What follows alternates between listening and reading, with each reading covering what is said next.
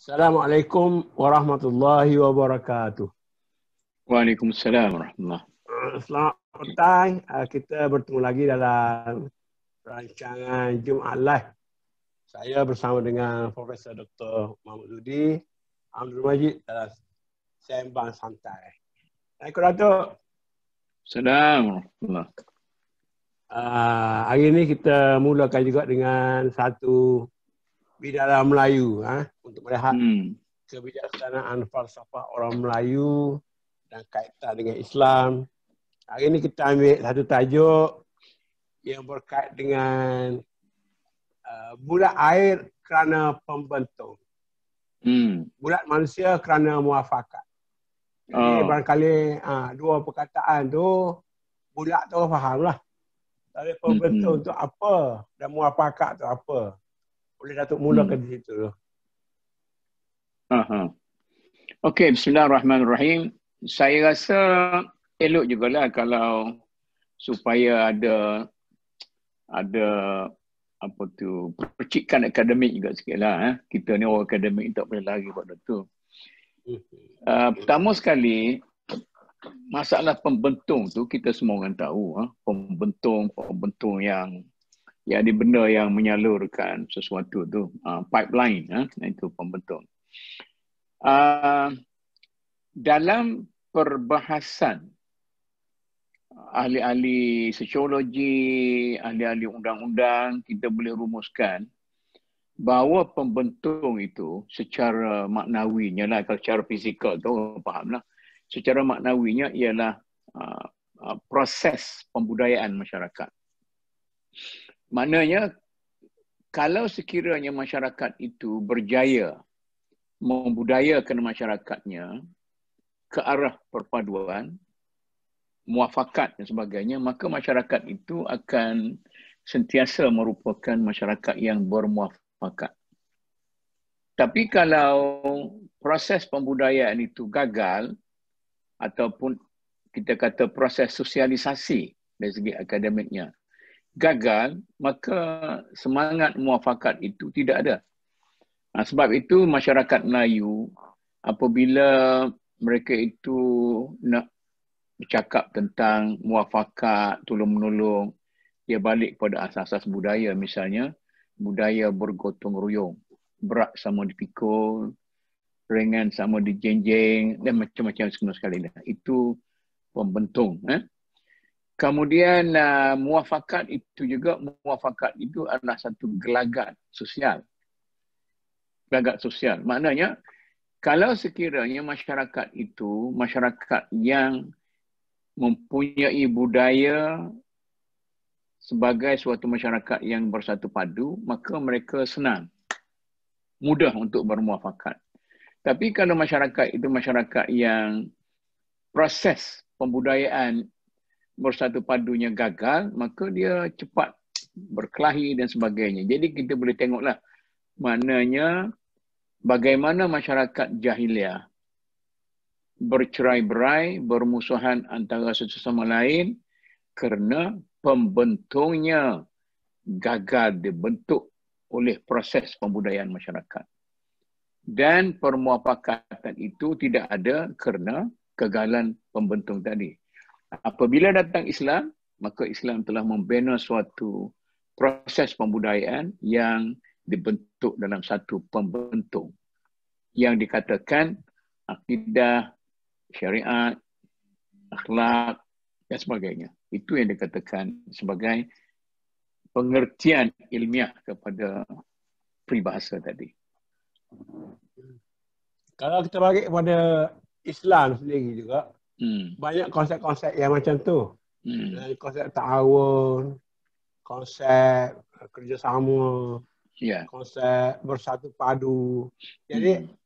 dia bukan secara konsepsi saja. Tapi kita Hmm. lihat dia dalam bentuk arahan, dalam bentuk Hmm. surahan. Jadi Hmm. kenapa dalam masyarakat Islam maksudnya uh, arahan dan suruhan itu tidak dilakukan oleh masyarakat. Adakah kerana sudah tidak kuat agama berbanding dengan masyarakat yang berpegang kepada arahan dan suruhan begitu? Hmm. pada peringkat awal, zaman awal Islam, arahan itu turun dalam bentuk wahyu.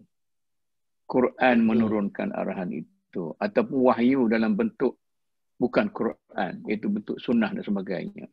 Kemudian arahan itu disampaikan oleh Rasulullah. Hmm? Jadi, hmm. sekarang ini, pada waktu itu, apabila arahan itu direct daripada Allah turun kepada Rasul, maka orang mudah menerimanya. Sebab keyakinan kepada Rasul itu. Keyakinan kepada Rasul dan Rasul meyakinkan manusia bahawa ada Tuhan yang tiada selain daripadanya ialah satu itu yang mengarah, yang memberi arahan, yang melarang, yang menyuruh dan sebagainya. Maka orang senang. Sebab itu para sahabat bila kata, Salu, solat dia solat dia tu macam jadi macam tunggul bila dia solat eh? sehingga ada satu riwayat dalam asar mengatakan kadang-kadang burung pergi hinggap atas kepala dia kerana hmm. tak bergerak-gerak khusyuk dan sebagainya ha, tapi bila baginda Rasulullah wafat dia mewariskan tugas Rasul itu kepada para ulama Ha, maka sekarang ini, kalau kita nak bercakap tentang Islamic value, nilai-nilai Islam, sosialisasi dalam Islam, cara bermasyarakat dalam Islam, pertama sekali orang yang perlu dipersoalkan ialah, ialah para ulama. Para ulama itu warasatul anbiya, orang yang mewarisi tugas para nabi. Jadi, kalau sekiranya para ulama itu berjaya menurunkan wahyu daripada Quran, Nabi dan sebagainya itu, maka para ulama itu akan berjaya, maka masyarakatnya akan berjaya juga. Tapi kalau para ulama itu gagal, dia tak dapat menyampaikan wahyu itu kepada umat manusia seperti mana yang disampaikan oleh Nabi, para sahabat dan sebagainya, maka masyarakat dia tidak akan menjadi sebuah masyarakat Islam yang selalu mendengar kepada arahan dan akan meninggalkan segala larangan. Itu yang berlaku. Cuma kalau kita bincang hal kepimpinan ulama dan sebagainya. Orang hmm. selalu merujuk kepada dia kata uh, yang ideal zaman Nabi, zaman Sina Abu Bakar, zaman Sina Umar. Hmm. Pada datang zaman Sina Osman, zaman Ali, hmm. kemudian mari Umayyah Abbasiyah tu, maknanya hmm. sahabat-sahabat tabi'in tabi'in pun sudah berpecah belah dan lari yeah. daripada arah-arahan Tuhan tadi. Adakah hmm. setengah orang sampai dia kata ini satu kegagalan untuk mewariskan uh, ilmu dan amalan daripada Nabi, sahabat-sahabat besar tu kepada hmm. zaman kemudiannya. Jadi apa ha, ini, lagi sekarang ni yang lebih jauh lagi? Ini kesilapan para pengulas sebenarnya. Nabi pun memperingatkan hasanatul abrar sayyiatul muqarrabin. Dia ada taraf muqarrabin, ada as, abrar dan sebagainya. Maknanya kita boleh simpulkan bahawa idealism itu ada pada setiap zaman. Dan personality-personality yang ideal itu ada pada setiap zaman zaman Nabi yang paling ideal sekali Nabi. Zaman para sahabat yang paling ideal sekali ialah beberapa orang para sahabat. Tengok. Kemudian zaman tabi'in, tabi'in, tabi'innya. Maknanya bila idealism itu berada pada seorang, maka dia merupakan idealism yang sangat tinggi. Yang boleh dijadikan contoh oleh semua orang. Tapi bila dia berpecah idealism kepada empat, misalnya para sahabat utama yang keempat, maka setiap para sahabat yang keempat itu ada aspek-aspek idealism yang tersendiri.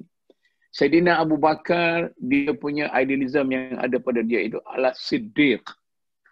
Jadi seorang sahabat Rasul yang tidak pernah mengata tidak.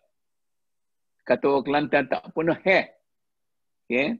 Kemudian Sayyidina Umar, idealism dia ialah sentiasa mentafsirkan Al-Quran dan As-Sunnah tu secara yang lebih tepat dengan fungsi manusia.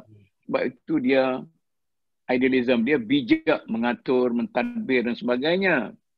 Sayyidina Usman sebagai orang yang warak yang menjauhkan diri daripada melakukan sesuatu yang dia rasa salah dalam pemerintahan dan sebagainya. Ali seorang yang cergas, yang berani, yang yang aktif dan sebagainya. Itu idealism itu. Tapi bila idealism itu berpindah kepada generasi kemudian generasi kemudian dia berpecah berpecah. Pada zaman ini idealism itu dia berada pada satu kumpulan manusia kita katakan. Kita katakan kalau mengikut Nabi ialah para ulama. Dan nilai idealism itu adalah lebih rendah nak berbanding dengan dulu. Jadi sekarang ini kalau kita nak menilai masyarakat Islam semasa maka idealismnya perlu kita contohkan kepada pembawaan para ulama. Jadi kalau ulama itu kekal menjadi satu kumpulan yang ideal, maka masyarakat akan betul. Tapi kalau tidak, masyarakat akan hancur. Sebab tidak ada idealism untuk dia nak ikut. Ha? Misalnya kita pergi lebih, eh, ya. kita dah bercakap tentang negara Islam. Ha, negara Islam, idealism kita pada zaman Rasul, pada zaman sahabat-sahabat. Tetapi orang persoalkan mana satu contoh yang ideal bagi negara Islam zaman ini. Saudi ke, Iran ke, Egypt ke, Algeria. Ah, itu yang orang persoalkan. Jadi kita perlu khatibun nas ala qadri uqulihim. Kita bercakap tentang atas mentaliti yang semasa. Ha? Itu yang... Jadi sekarang ini kalau kita Tapi nak bandingkan, Ya. Dalam pengajaran kita, Dato, ulama-ulama kita, hmm. Ustaz-ustaz hmm. kita, dia banyak merojok kepada sejarah. Misalnya hmm. mula daripada sejarah uh, perselisihan pendapat antara Ali dengan Aisyah. Ah, itu hmm. yang mula-mula mula-mula ditunjuk kepada masyarakat. Kemudian bagaimana hmm. Muawiyah dengan Hasan Hussein. Hmm. Jadi hmm. maknanya contoh-contoh negatif itu sudah hilang muafakat di kalangan orang Islam pada zaman awal lagi dalam mm-hmm. awal Islam lagi. Jadi macam mana? Adakah sesuai kan ni kita menggembar-gemburkan balik atau mengorek cerita-cerita lama yang bagi saya negatif lah. Ya. Dia sama ada cerita positif ke cerita negatifnya. Idealism zaman awal, idealism zaman dulu dan sebagainya merupakan idealism. Tetap idealism. Tetapi ibaratnya bintang-bintang Lazuardi di upuk atas di langit. Bintang-bintang yang gemerlapan di langit. Sama ada yang positif atau yang negatif. Kita boleh bernostalgia. Ha, sebabnya dalam perbalahan antara Ali dengan dengan Aisyah pun ada nilai-nilai positif yang banyak. Ada. Maknanya bagi orang yang uh, berpikiran uh, positif itu sebagai satu contoh yang Tuhan nak tunjuk. Sebagus mana pun manusia itu kalau dia bukan nabi dia tidak akan terlepas daripada kesilapan dan kekurangan. Al insan la yakhlu min al khata'i wan nisyan. Manusia itu tidak terlepas daripada salah dan silap dan lupa sebab itu dia dinamakan manusia. Insan maknanya satu jenis manusia yang satu jenis makhluk yang lupa. Selalu lupa ha? jadi oleh kerana itu berpijak daripada idealism yang tinggi itu kita perlu menyorot balik. Sebab itu kronologi sejarah manusia perlu kita faham. Menyorot balik sampai kepada zaman kita. Maka di samping kita bernostalgia kita perlu rasional untuk zaman kita ini. Jadi kita mencari idealism zaman kita. Jadi oleh kerana itu, jangan kata kita telah mewarisi perpecahan itu sejak daripada dulu sampai sekarang. Tapi kita katakan perpecahan berlaku sekarang kerana masalah kita sendiri.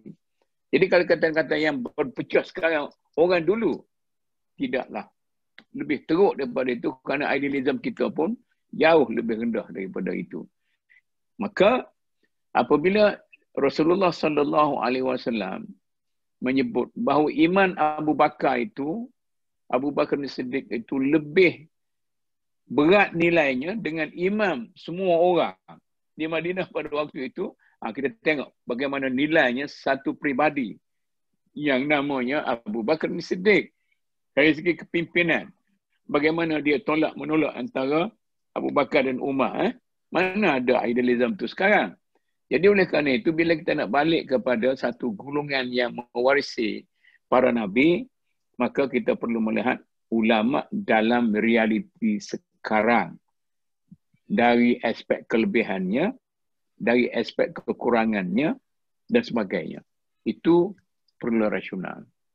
Cuma dalam realiti yang berlaku, walaupun idealism hmm. tu baik, hmm. Eh, idealism tu baik, tapi bila berdepan hmm. dengan realiti, biasanya orang meninggalkan re- re- idealism. Orang hmm. lebih kepada benda yang di Quran pun sebut, yuridunal hmm. ajilah. Manusia nak benda yang segera. Macam Datuk yeah. pernah sebut di India ke Pakistan. Eh. Bila botol hmm. beli, beli roti, rakyat yeah. Islam beri idea, ideologi, hmm. orang nak makan roti dulu baru nak fikir hak ideologi. Jadi dalam kehidupan hmm. kita di Indonesia pun adakah berlaku demikian. Orang lebih suka kepada benda-benda hadiah, sogokan, hmm. rasuah. Hmm. Walaupun dia tahu hmm. benda tu haram, benda tu elok. Ha, jawatan-jawatan hmm. yang kita tak, tak mampu pun kalau bagi kita terima juga. Eh, kerana hmm. hilang idealism tu. Jadi idealism tu maknanya orang kata uh, ilmu tu kalah. Walaupun ulama hmm. pun ilmu tu boleh kalah bila kita berdepan dengan material dan sebagainya. Ya. Sebab kita itu kita kita para pemimpin masyarakat kita tak perlu lagi banyak bercakap tentang idealism. Kerana masyarakat kita masyarakat yang tidak menyanjung idealism. Hmm? Katakanlah kalau kita bercakap tentang politik. Jadi kalau kita banyak bercakap tentang dasar-dasar politik, maka saya rasa orang menerima untuk untuk sedap-sedap mulut saja. Tetapi akhirnya orang buat macam lain. Ha? Katakanlah dasar kita Melayu. Hmm, tak Melayu sangat pun. Dasar kita Islam. Tak Islam sangat pun. Dasar kita demokrasi. Tak demokrasi sangat pun. Itu sebab idealism itu. Jadi kita perlu hanya bercakap tentang sedikit tentang idealism. Dan kita tengok perpecahan masyarakat Islam dalam negara kita sekarang. Kita fokus kan? Kita fokus dalam masyarakat sekarang. Bukan kerana dasar, bukan kerana idealism. Kalau kita cakap tentang idealism, tentang dasar, yes. Semua yes. Tetapi perbalahan ini boleh disifatkan sebagai kita berhadapan dengan krisis identiti. itu yang capai apabila saya menulis buku saya mencari identiti. Saya sifatkan diri saya sampai sampai sekarang saya belum menemui identiti saya. Siapa saya?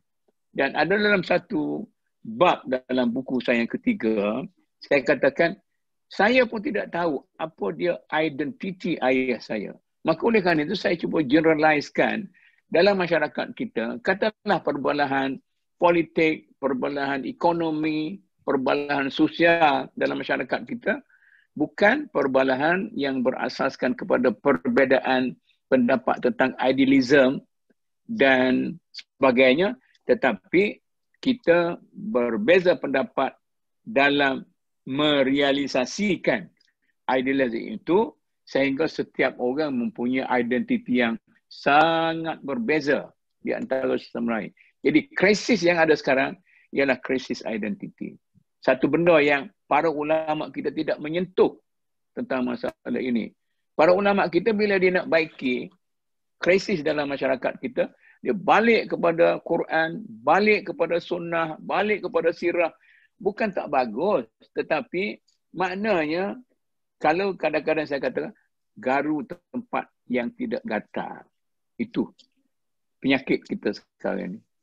Cuma sekarang ni kita pada agama kita diajar satu uh, bercakap benar, berpegang hmm. kepada kebenaran, hmm. berpegang kepada prinsip. Hmm. Kemudian kita cakap pula uh, fa in tanaza'tum fi syai'in faruddu hmm. ila Allah wa Rasul. Hmm. Kalau bercanggah kembali kepada Allah dan Rasul. Hmm. Tapi dalam realitinya tidak terjadi demikian. Jadi ada kemaknanya kita sudah menolak nilai-nilai agama tadi atau uh, identiti kita celaru macam mana? Ya. Semua orang menerima. Tidak ada orang yang menolak. Hmm. Sehingga kan yang kita sifatkan sebagai sosialis ke, ha, sebagai liberal ke, semua orang menerima tu. Ha, apa tu idealism itu.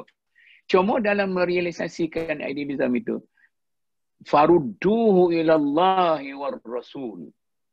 Maka dikembalikan kepada Allah dan Rasul. Ha, kembali kepada Quran Sunnah. Dalam mentafsir Al-Quran Sunnah tu, kita mempunyai hmm. identiti yang sangat berbeza di antara sesama lain sebab dari segi pengajian-pengajian ilmu katalah dalam memahami sesuatu yang doktrin yang ideal kita dipengaruhi oleh banyak perkara satu mentality dua intelektual kita yang ketiga pengalaman yang keempat, orang sekitar, orang sekeliling. Yang kelima, rakan sebaya. Kemudian, persekitaran umum dan sebagainya. Jadi, kata para ulama, Al-insan ibnu zamanihi. Manusia itu adalah anak kepada zamannya. Maknanya dalam mentafsirkan ar-ruju' ilallahi wa rasul itu, kita berbeza pendapat di situ. Jadi oleh kerana itu, konteks yang paling baik sekarang dalam kita nak menyelesaikan perbezaan, tidak lagi kita sogokkan kepada mereka ini nilai-nilai adilism yang tinggi-tinggi, mereka itu sudah berpakat di situ. Cuma budaya mereka rusak. Sebab itu, pembentung yang membentuk budaya mereka itu rusak. Maka kita kena betulkan pembentung itu, kita kena balik kata orang-orang yang arif tentang sosiologi balik semula kepada proses sosialisasi yang betul. Maka kita boleh berfakat. Zaman dulu, bila tiup tentuang, tiup tentuang, po kita duduk kampung, eh? orang tak tanya, eh mana tu, mana tu, mana? Ada orang kata, ada apa semua sekali. Okey, pergi semua dengan siap apa semua sekali. Dia tak tahu di rumah dia ada kerja apa. Oh nak usul rumah. Ha. Ha, kalau masa tu. Kalau belah pagi. Ha, kalau belah petang tu. No, ha, nak pergi cedung. Nak pergi menugak. Sebagainya. Kalau orang palu geduk. Dong, dong, dong tu. Ha, dia pergi mandi lah. Pergi mandi apa semua sekali. Pergi ke madrasah. Macam lah. Ada orang mati. Ha, nak panggil orang tempat ha, mati apa semua sekali. Jadi dia faham. Tak payah lagi jemput seorang-seorang. Tapi sekarang ini palulah gendang kau. Palulah serunai. Tak ada. Ha, itu mana perlu balik kepada asas pembinaan masyarakat semula. Dan kita perlu kepada satu generasi untuk menguruskan masalah masyarakat kita. Dan kita kena mengakulah sejak kita mula merdeka, kita terlupa untuk membina manusia. Kita ingat bila merdeka kita nak bangunkan negara kita maka pembangunan negara kita itu ialah pembangunan material. Kita kita tidak membina madani tetapi kita membina hadari. Ha, ini yang jadi masalah kepada kita. Kita membina madani tapi tidak hadari. Terima kasih Datuk. Kita ada ramai hmm. penonton-penonton oh. dan kita hmm. buka ha, kepada para penonton para pelayar untuk bertanya soalan-soalan jika ada. Cuma saya tengok, hmm. saya ada baca dalam platform Majlis Dakwah Negara tu. Nampak hmm. Datuk cuba buat, buat pembentuk ke apa tu. Nampak pergi hmm. melawak macam-macam ketua-ketua parti politik. Nampak semua dah. Daripada Dr. Mahathir, pada Hadi hmm. Awang, hmm. Mak Sabu hmm. dan macam-macam hmm. lagi lah. Hmm. Mahathir saya kaya dua kali dah kan. Dengan Muhyiddin. Apa hmm. Datuk punya misi? Misi nak sampai yeah. tu lawatan yeah. tu adakah berhasil atau mencurah air daun keladi saja? Ya. Yeah. Kami mengambil pendekatan tidak mengkritik sesiapa. Tapi pendekatan kami ialah menghormati semua orang Sebab itu cara kami tidaklah memasukkan kenyataan-kenyataan akhbar. Kutuk orang ni, caci orang ni, marah orang ni. Tak. Itu sesuatu yang kami rasa tidak boleh mencapai kita punya objektif. Mula-mula kami kata pihak yang ada kekuatan untuk menyatukan umat ialah para duli-duli Muhammadiyah tuanku dan istana-istana. Maka kita melawatlah istana, pergi menganjung para tuanku, tuanku-tuanku bangsa kita sudah teruk tuanku. Kalau tuanku memberi perhatian sikit kepada bangsa kita, insya-Allah bangsa Melayu ini akan ikut. Maka dari satu istana ke satu istana dan alhamdulillah tuanku para tuanku faham bahawa antara raja dengan rakyat itu sama seperti aur dengan tebing. Jadi raja-raja tidak boleh kekal memerintah kecuali ada rakyat yang setia. Dan rakyat tidak boleh kekal kukuh kecuali ada payung yang dinamakan tuanku sehingga kita pada satu masa mengadakan satu convention yang besar yang dinamakan Convention Pasak Negara. Pasak Negara. Jadi nak kita kat Dr. Kamil, dalam kami duk buat istilah pasak negara itu pun, ada orang kritik. Apalah raja-raja dikatakan pasak? Raja itu begini, begini, begini. Apa kami ambil? Diam. Diam saja. Ha? Al-qafilatu tasiru. Da'il kilabu tambah wal qafilatu tasiru. Dalam malam Mi'raj, saya selalu peringatkan kepada orang-orang MTN, pada malam Mi'raj, ada panggilan di belakang. Ya Muhammad, Ya Muhammad, Ya Muhammad. Nabi Muhammad nak jawab. Jibril kata, Ya Muhammad, tak payah jawab. Kerana kamu, bila kamu jawab, dia boleh mengganggu kelajuan perjalanan kita. Sebab tu Presiden Nasir kata, da'il kilabu tambah wal qafilatu tasiru. Biarlah anjing-anjing itu menyalak tetapi kafilah ini akan terus. Maknanya jangan kita sibukkan dengan benda-benda yang remeh-temeh dan sebagainya. Kemudian cerita pada Dr. Kamil ni sebab dia tanya kan. Ha, barisan yang kedua, second liner ialah para pemimpin politik kami melawat ini sudah ke berapa kali ya nah ini kesekian kali. Melawat melawat melawat, malam semalam pun ada dating dengan setengah ketua politik lagi. Tetapi oleh kerana covid ni kita slow lah apa-apa semua sekali.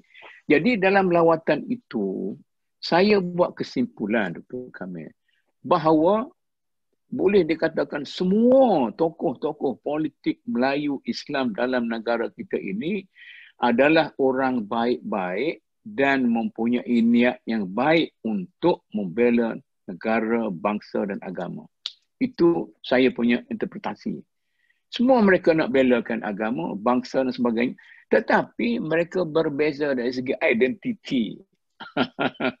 Baik pada identiti lagi. Uh, orang tu kata uh, corak uh, pergerakan itu tak betul. Uh, orang ni kata dia macam ni, orang ni kata macam ni. Jadi perbezaan identiti itulah yang perlu. Jadi sekarang ni saya nak buka sikit kepada Dr. Kamil. Saya kata biarlah orang-orang politik itu dia nak berbalah sesama mereka itu biar mereka berbalah kerana perbalahan itu satu identiti bagi parti-parti politik. Tidak berbalah tidak ada political mileage. Guna suara begini, begini, begini. Kalau ketua parti politik yang diam, tu orang kata, apalah lembek ni. Ini ketua politik, apa lembek sebagainya. Maka saya kata, mungkin kita tidak mempunyai peranan yang cukup banyak untuk menyatukan ketua-ketua politik.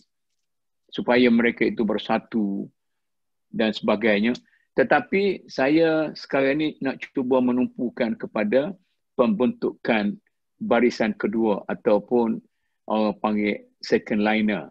Jadi kalau terjadi apa-apa kepada politik masyarakat kita, barisan kedua yang terdiri daripada para pejuang, orang-orang harakah dan sebagainya dalam masyarakat kita, dia boleh mengambil inisiatif untuk menyelamatkan keadaan negara. Dan sebagainya, sebagainya mungkin satu masa saya cerita lagi pada doktor kami bagaimana kita mengasaskan perjuangan kita itu supaya ia merupakan satu perjuangan yang mantap.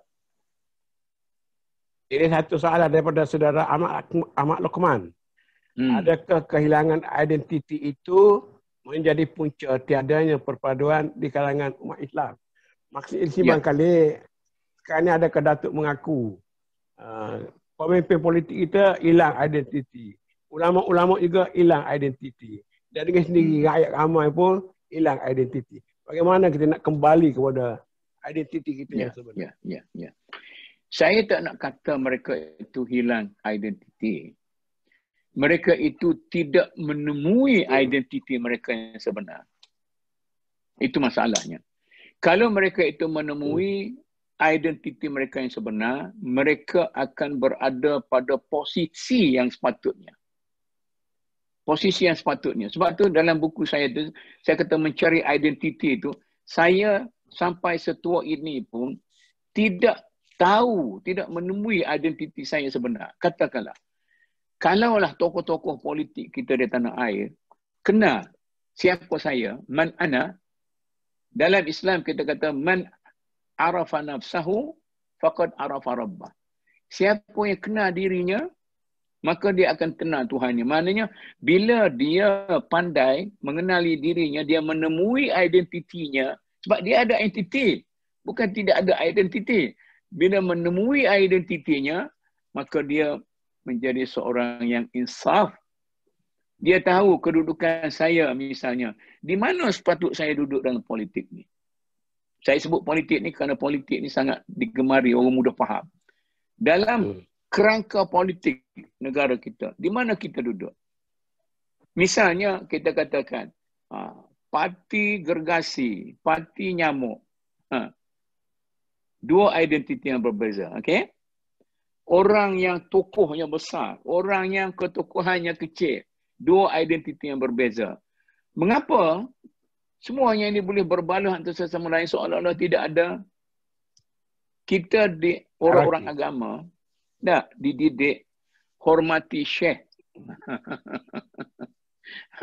Saya ingat masa di Al-Azhar ni. Uh, tapi budaya ni tidak ada budaya di Al-Azhar, bila syekh kita, ah, kita junjung, kan, kita berjalan begitu, kita hormat betul, dia maulana, ya maulana, semua sekali.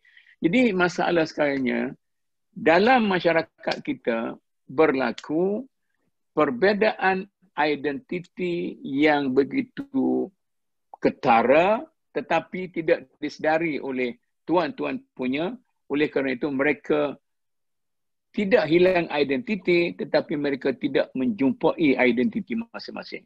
Jadi oleh kerana itu, masing-masing kena balik pada diri sendiri.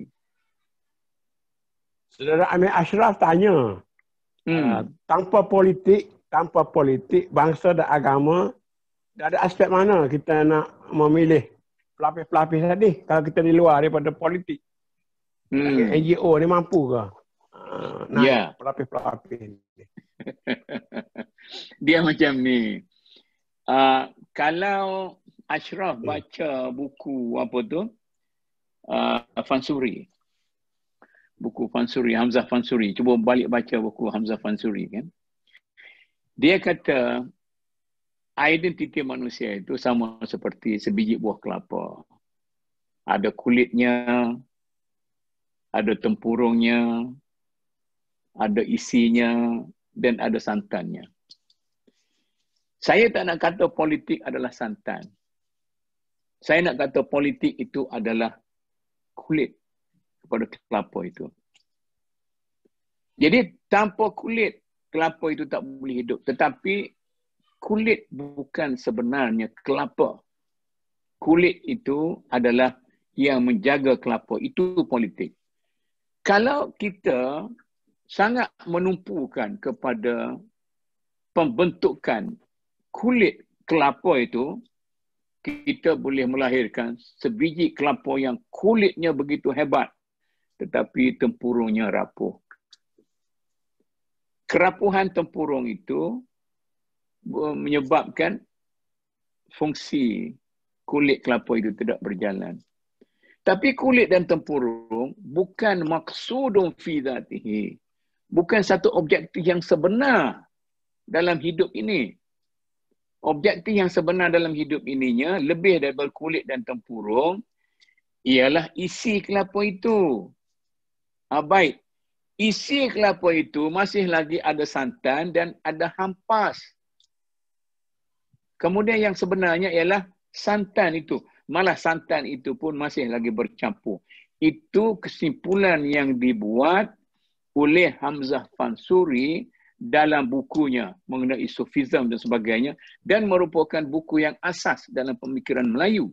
Jadi oleh kerana itu, sekarang ini kita kena beri perhatian kepada politik secukupnya sebagaimana kita memberi garam dan asam dalam gulai kita secukupnya. Kalau terlampau banyak garam, masih sangat. Kalau terlampau banyak asam, masih sangat. Dalam masyarakat kita sekarang ini, asam dan garam terlampau banyak, maka gulai kita rusak. Kita tidak mem, tidak memfokuskan kepada aspek-aspek pembinaan intelektual misalnya, pembinaan ekonomi, pembinaan ilmu, pembinaan falsafah berfikir.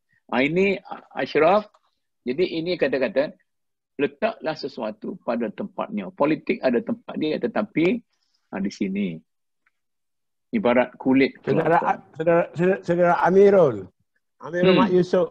Dia, dia tanya ni kalau Datuk boleh, Ustaz boleh terangkan apa kita boleh ambil rumusan dari politik Rasulullah yang paling menarik untuk kita jadikan sebagai contoh teladan pada hari ini nak kembali kepada ideal Rasulullah. Ba- banyaklah, banyaklah politik Rasulullah tu. Eh? Politik damai. Dia bukan nak balas ni siapa-siapa. Dia tak pakai taring.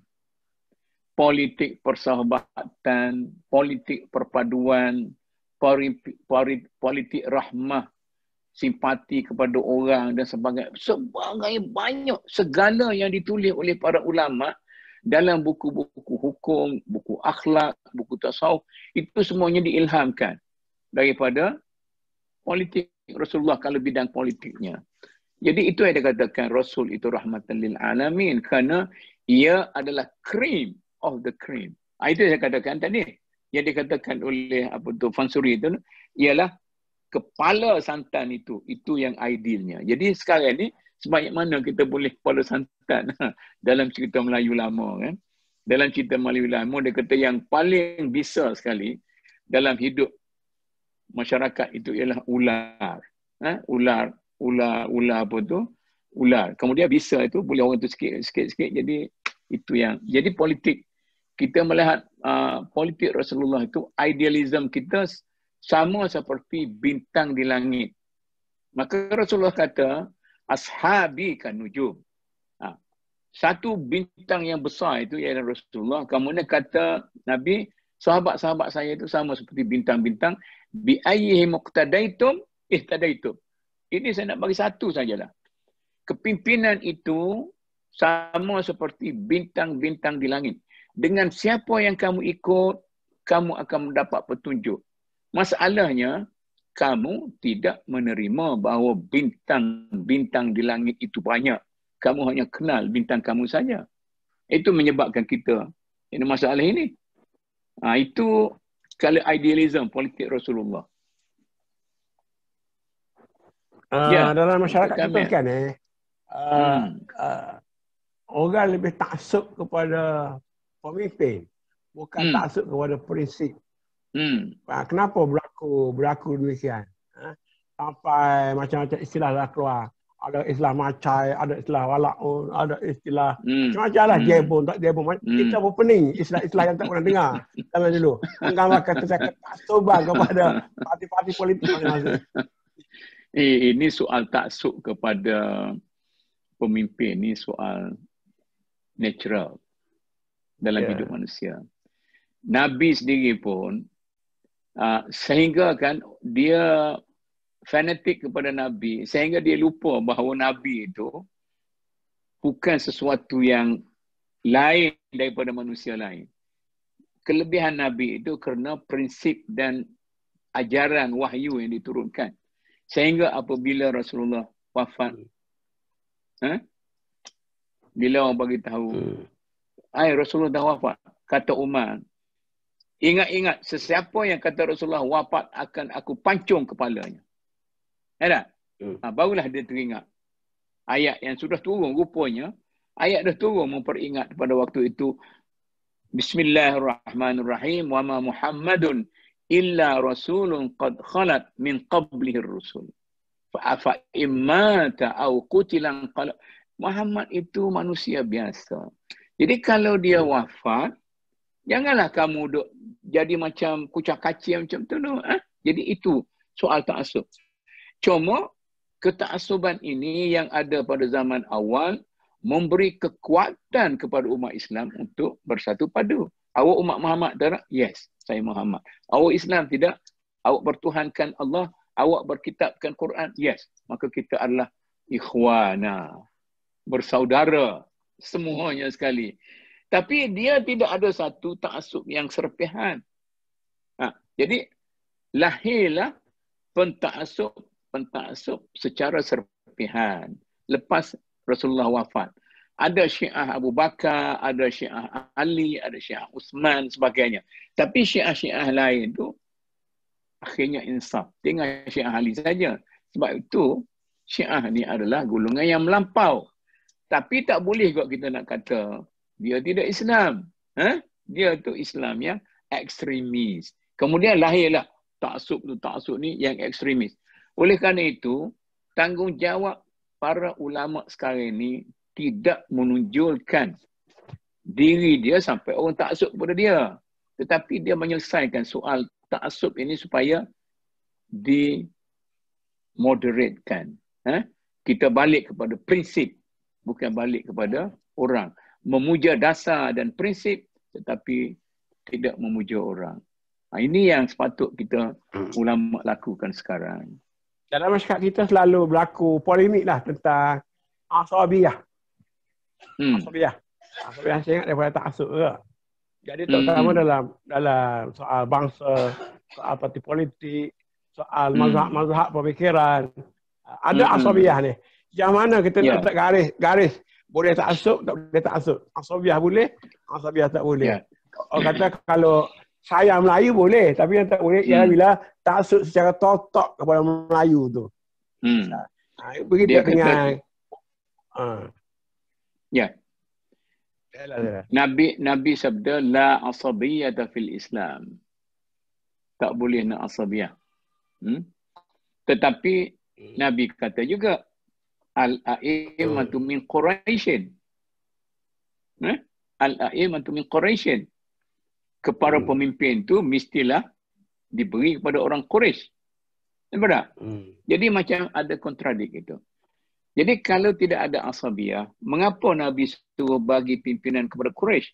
Mana abah asabiyah di sini ialah asabiyah kepada idealism. Quraisy itu pada waktu itu melambangkan satu golongan masyarakat ningrat yang lebih established yang mampu untuk menyatukan umat Islam. Eh? Kalau tidak Quraisy maknanya dia punya title tidak maknanya asabiyah itu ada di situ. Maknanya kalau kita kata la asabiyah fil Islam tak boleh nak fanatik langsung, nak suka bangsa, suka orang agama sama kita, nak liberal, nak terbuka semua sekali. Ha, itu orang panggil orang yang dayus. Yang tidak mutaasib kepada sesuatu yang benar itu panggil dayus. Ha, boleh berlaku. boleh berlaku. Ha, jadi kita kena hati-hati mentafsirkan boleh tidak boleh asabiah itu dalam kadar yang moderate. Yang tidak fanatik, yang tidak begitu ekstremis dalam asabiah. Oleh kerana itu realiti dalam masyarakat kita. Dalam keadaan orang Melayu yang begitu terhimpit, yang tidak begitu mampu membangun. Maka kalau kita cinta bangsa Melayu, lebih daripada bangsa-bangsa lain dalam negara kita ini bukan dikatakan satu asabiyah tetapi satu semangat untuk membela bangsa dan ras kita sendiri yang perlu ku anfusakum wa ahlikum nara. Dalam Quran kata, jaga diri kamu dan jaga keluarga kamu. Jadi jaga diri dan keluarga orang lain jadi pihak ketiga itu bukan asabiyah. Itu artinya keutamaan yang diberi kepada yang paling berhak utama itu satu keadilan. Ha, itu soal polemik masyarakat kita kadang-kadang kronik. Ya. Hmm. Ha, sebelum saya minta Datuk simpulkan nanti, saya nak minta hmm. Datuk bagi dua contoh lah. Satu luar hmm. negara dalam sejarah yang paling hebat dengan bicara tentang asabiyah ialah Ibn Khaldun. Hmm. Ibn Khaldun. Ha, di negara kita saya ingat antara yang menceritakan tentang faham kebangsaan dan Islam ialah Dr. Burhanuddin Al-Helmi. Ya, kalau hmm. Datuk boleh gambarkan dua ni, macam mana kita... Sebab lepas tu datang kemudian, zaman hmm. kepimpinan ulama dan sebagainya sampai tak nak sebut Melayu, tak nak sebut apa semua, nak Islam, Islam, Islam. Kalau sebut Melayu, hmm. ah, tu dah uh, tidak tak ada hak istimewa orang Melayu, tak ada. Ah, ini yang belega di kalangan orang hmm. kita dalam politik asabiyah tak asabiyah. Hmm. Yeah. Dia susah nak banding Ibn Khaldun dengan Burhanuddin ni sebenarnya. Ha? Uh. Kita tolaklah Ibn Khaldun ya, sepatu idealism yang yang tinggi. Kalau Dr. Kamil sebut masalah Dr. Burhanuddin, uh, Dr. Burhanuddin itu adalah mungkin satu idealism dalam perjuangan politik dalam negara kita. Tetapi tidak satu hmm. contoh yang tunggal. Eh? Dia ada masa itu ada Tengku Abdul Rahman, ada Ahmad Mustamam, ada Haji Mamat, ada yang setengah lagi yang kiri-kiri macam sampai masuk hutan apa semua sekali. Semuanya orang satu zaman. Eh? Cuma yang mempalai pergerakan Islam secara rasmi Ha, pada waktu itu. Yang rasmi pun kita yang kata rasminya sebenarnya pergerakan-pergerakan lain yang Melayu tu saya rasa orang tak orang tak pisahkan. Orang Melayu ni tidak memisahkan antara Islam dengan dengan Melayu. Sama. Sebenarnya hanya yang memisahkan kita ialah saya katakan tadi identiti nanti nak cakap politik ni kan? Boleh kan boleh kan Dr. Samir nak cakap politik ni? Boleh ada masa lagi. Ha. Okey. Mula-mula yang ada dalam negara kita daripada politik bangsa kita ialah kebangkitan-kebangkitan secara serpihan dalam negara ini. Misalnya bangkit di situ Datuk Semantan, Mak Kilau, daripada apa tu, tu janggut dia, oh, itu semua. Ini kebangkitan-kebangkitan ya. Jadi kebangkitan ini yang telah melahirkan kesedaran di kalangan orang Melayu, orang Islam. Jadi kebangkitan ini tidak lagi menunjukkan soal personality. Mungkin mereka itu mengenali identiti mereka, siapa mereka. Maka mereka itu memperjuangkan. Jadi identiti yang mereka tunjukkan, kami adalah orang-orang yang menentang penjajahan whatever bentuk penjajahan itu. Bagaimana orang kata apa corak perjuangan perjuangan kamu?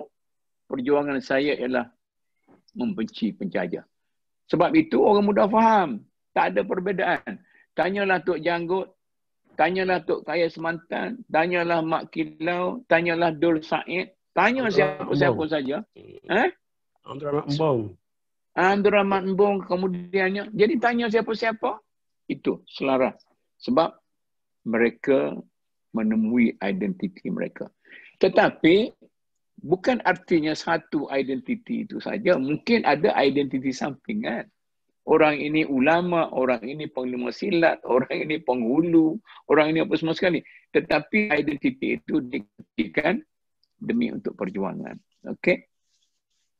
Kemudian apabila berlaku British memperkenalkan Melayan Union, Maka umat telah digerakkan berasaskan kepada satu dasar pergerakan yang sama walaupun oleh berbagai-bagai personality. Ha? Kita dengar cerita uh, Datuk Un, kita dengar cerita Tengku Abdul Rahman, kita dengar cerita Burhanuddin, kita dengar cerita Bustaman, kita dengar cerita Ishaq Haji Muhammad, dengar cerita-cerita yang lain. Mereka bangkit bersama berasaskan kepada identiti yang sama kami adalah para pejuang. Pertama sekali mempertahankan kedudukan raja-raja. Dan kami tidak akan benarkan raja-raja Melayu dijatuhkan. Satu. Yang kedua kami menolak penukaran identiti bangsa kami untuk menjadi satu British citizen. Kami nak kekal menjadi suatu bangsa yang bermaruah dan sebagainya dengan satu identiti itu maka mereka itu okey. Ha, lepas tu, bila nak merdeka, hanya ada satu politik saja, iaitu UMNO. Okey? Iaitu UMNO saja. Kemudian British mencipta MCA, British mencipta MIC supaya menjadi pihak-pihak yang boleh mendukung kemerdekaan. Pada niat Britishnya, kalau saya cipta, maka mereka itu akan berkelahi dan kemerdekaan akan terbantut dan tidak akan merdeka lah pada masa yang mereka itu nak. Cuma apabila berlaku suatu perkembangan yang mengharapkan ah, apabila berlaku satu keadaan yang mengharapkan, menjanjikan, maka orang mula berpecah. Okey, perjuangan kita menolak Melayu Union, kita dah bersatu, tidak lagi Kelantan seorang, Terengganu seorang sudah ada. Ha, Itu kalau kita nak tengok dari satu dimensi lagi, kita boleh kata British lah pihak yang menyatukan orang Melayu. Daripada asal identitinya, state by state. Kelantannya, Terengganu-nya, Pahanya. Maka menjadi sebab, bukan mereka itu menyatukan. Macam juga Belanda menjadi sebab kepada terbentuknya satu kesatuan Indonesia yang dibentuk oleh Soekarno Hatta. Jadi sekarang ni bila sampai di situ, maka mulalah berpecah. Ha, bila bermula berpecah keluarlah PAS, kemudian keluarlah sosialis, keluarlah orang ekstremis. Ha, itu mula perpecahan identiti yang menyebabkan para pengikut kita pecah kerana kegagalan pada waktu itu. Jadi kalau Dr. Kamil nak suruh saya ulas tentang Burhanuddin, maka Burhanuddin hanya secebis daripada pecahan identiti itu sama seperti Bustaman, sama seperti Abdul Rahman, Tengku Abdul Rahman, sama seperti hal-hal yang lain, maka itu satu satu benda yang kalau kita nak balik balik situ semula satukan mereka kembali maka kita akan ikut satu identiti yang bersatu. Terima kasih Datuk. Kita ini dah sampai hmm. satu tahap iaitu kita bermuafakat untuk meruntuhkan penjajahan.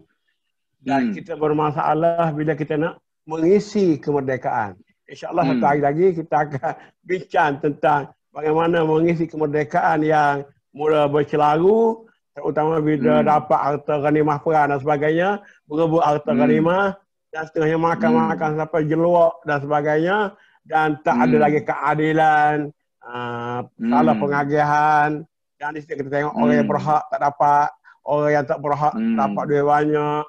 Dan di situ hmm. kita mula bercelaru. Jadi insyaAllah hmm. satu masa kita cari satu bidanan yang berkait dengan mengisi kemerdekaan itu. InsyaAllah. Okey. Okay. Terima kasih kepada okay. penonton sekalian. Dan saya rasa hari ini hmm. tajuk agak serius. Walaupun uh, hmm. uh, pada asalnya tajuk kita tu air saja. Tapi air ni memang hmm. dia hebat.